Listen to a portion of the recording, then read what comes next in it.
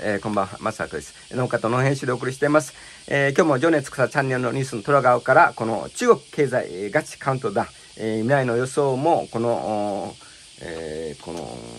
惨、えー、そして、え中国共産党のこの経済え構造改革プランが全世界に、えー、大不況やあ大不況大不況の中、あえー、大、えーちょっとかけ、かけ、えー、この、の中、南シナ海で揉めている ASEAN 諸国に、えー、この秋、波ですね。これ、中国、まあ、統計14万人と言ってますけど、この国連がこの人口調査ですね、えー、この2100年かな、にはもう半減、えー、14億が6億、5億になるということで、中国のこの先、えー、この未来が、本当に、えー、この移民ですね、えー、まあ、実際、中国、この本当に、えー、14億人いるかどうか疑わしいですけど、まあ、仮にしても、えー、あと50年、20年、40年、今、えー、24年ですかね、えー、2100年ですね、ちょっと先ですけど、まあ、50年後の100年後、100年後じゃないですね、えー、中国の人口が、えー、今の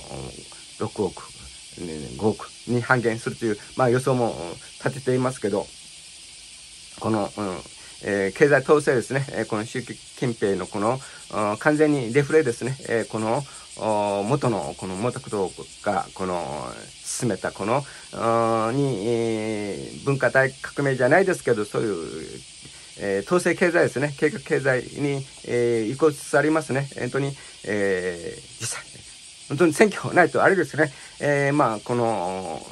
この権威主義国家、あロロまあ、えー、ロシアは本当に形ばかり、まあ、選挙してますけど、えー、この、まあ、世論がありますね。北朝鮮でも、まあ、中国でも、イランでも、イラン、まあ、選挙、まあ、その仕方がありますけど、中国は完全に、えー、選挙ないですね。西側の、この、えー、この普通選挙、この、日本のこの明治時代の私の先輩が頑張って、この普通選挙ですね、えー、まあ、女性にも選挙権あ権利が与えられて、本当にこの、えー、安倍元首相が唱えたこの開かれたインド洋、太平洋のこの自、保守自ですね、えー、この中国、先はないですね。本当に、一党独裁、えー、共産党独裁はもう終わるべきですね。えー、この中国、台湾、この台湾維持ですけど、この中華民国ですね。えー、本当に、えー、中国、この共産党、一党独裁は、あ本当に、えー、この、なくすべきと、私、個人的に考えですね、えー、この、中国の民主化、そして経済自由化ですね、中経済自由化が、ああこの、あるべきですけど、逆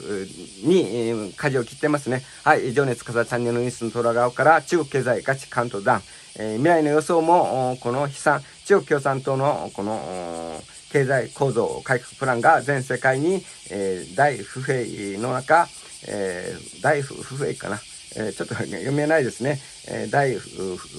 あれですね、不評の中、えー、南、えー、シナ海で揉めている ASEAN 諸国に秋波ですね、大きいかな、外、外相兼、この外交のトップがこの、また ASEAN 行って、このフィリピン、またベトナム、いろいろとこの揉めてますね。えー、この中国、この、えー経済を武器にしていますけど、えー、主張は譲らないですね。えー、中国のこのわがままを許すわけにいかません。引き続き常年、えー、つくさチャンネルのニュースの登録をお伝えしていきたいと思います。えー、マサトです。マサトこの YouTube チャンネル登録、またコメント、いいねボタンとよろしくお願いいたします。えー、また聖書を学びたいというお友達も募集してますのでよろしくお願いします。次回の1分間の特でお会いいたしましょう。マサトでした。終言です。パションブルズ、シャロム、シャロム、シャロム。